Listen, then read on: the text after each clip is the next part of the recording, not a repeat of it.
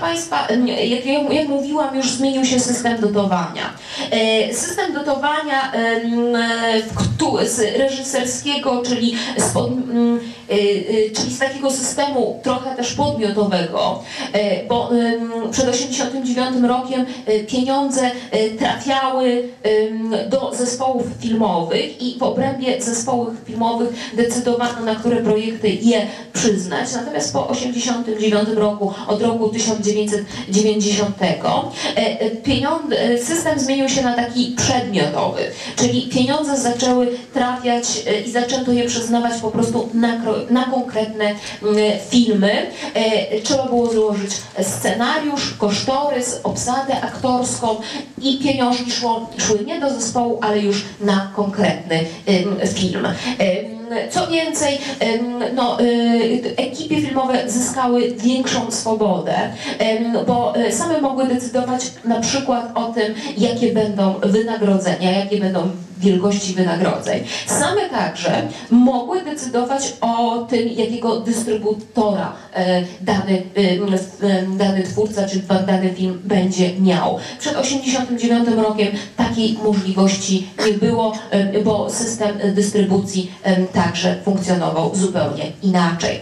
E, oczywiście to związane jest z rokiem 1991 i takim ważnym momentem, kiedy powstają e, trzy agencje e, i bardzo jakby wyraźnych kształtów już polska kinematografia nabiera. W 1991 roku powstała po pierwsze agencja produkcji filmowej, po drugie agencja scenariuszowa, a po trzecie oczywiście powstała agencja dystrybucji.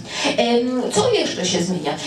Oczywiście, ponieważ w kinie polskim raczej panował pesymizm, e, to starano się wybierać takie drogi ratunku. I w 1991 roku Polska e, przystępuje do takiego tak zwanego funduszu Euroimages, e, co e, w obrębie którego to funduszu możliwe były produkcje z innymi krajami europejskimi i jakby otworzył się dostęp do wspólnych środków i do współpracy w ramach tego właśnie funduszu.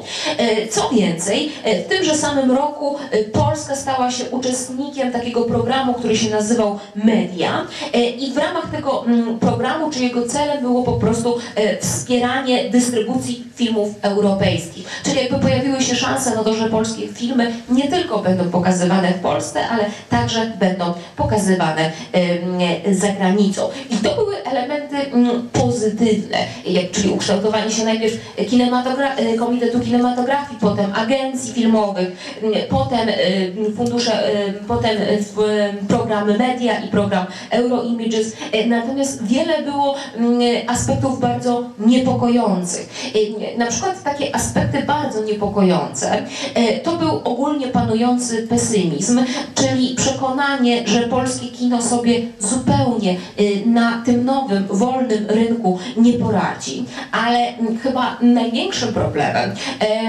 był problem z widzami. Z widzami, którzy, no ujmijmy to prosto, masowo odpływali z kin.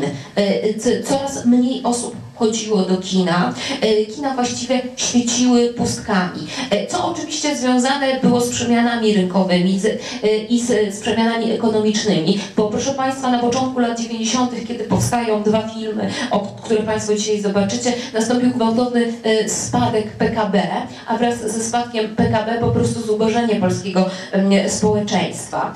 Początek lat 90. to w branży filmowej masowe wręcz e, zwolnienia e, ludzi zatrudnionych e, w kinematografii. I to oczywiście specjalistów z bardzo różnych dziedzin. Także zamykanie wytwórni, jak Państwo może jeszcze pamiętacie. Kompletnie jakby likwidacja bardzo dużej ilości kin.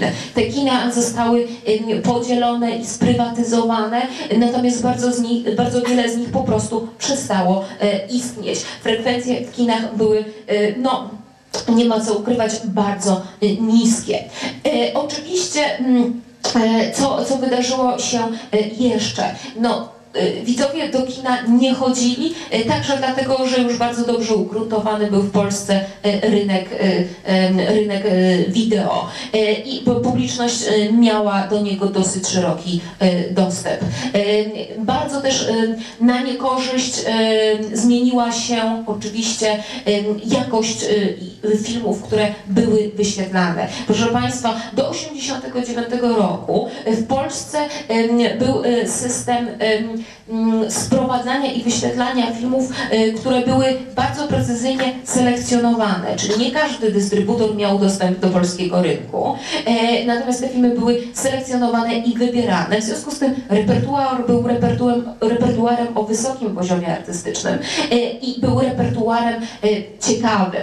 Natomiast taka tama mm, ta tama jakby tej selekcji repertuaru, ona zaczęła pękać w 80 latach już tak naprawdę, a po 89 roku pękła zupełnie. To znaczy w 80, przed 89 już podjęto decyzję, że do Polski należy sprowadzać nie tylko e, filmy o wysokim walorze artystycznym, ale także e, uznano, e, że polska publiczność potrzebuje igrzysk. W związku z tym zaczęto sprowadzać filmy mm, komercyjne, e, ale oczywiście to jeszcze było limitowane. Jeszcze pewne tamy istniały. Po 89 takie tamy w ogóle przestały istnieć, e, więc e, w Polsce zaczęło, na polskich ekranach zaczęło oczywiście pojawiać się kino przede wszystkim komercyjne. E, no i potem część reżyserów uznała, że jeżeli właściwie polska publiczność chodzi głównie na kino komercyjne, to po 89 roku